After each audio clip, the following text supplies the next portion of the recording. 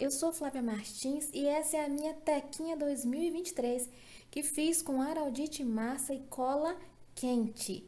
A embalagem vazia de cola branca eu utilizei na base da boneca. É uma sugestão aí para reaproveitar essas embalagens. Também dá para colocar areia dentro da embalagem vazia e transformar a boneca em um peso de porta. Eu utilizei o araldite massa na confecção do pingente aí na pulseirinha da boneca, também para fazer os olhos.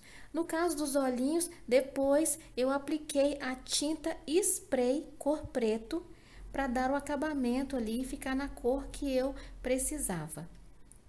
Utilizei também outras colas, como por exemplo a T6000, a cola de silicone, cola instantânea, porque são produtos maravilhosos. Eu super indico os produtos da Tech Bond porque o acabamento fica excelente, agiliza, facilita todo o trabalho artesanal.